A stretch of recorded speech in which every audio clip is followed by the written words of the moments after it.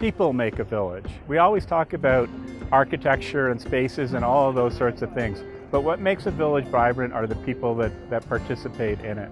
Our designs of villages in alpine areas are really driven by how people move through space, what people want to do in those spaces, where we put restaurants and how sun spills into space so that people are comfortable in it really is what drives a vibrant village.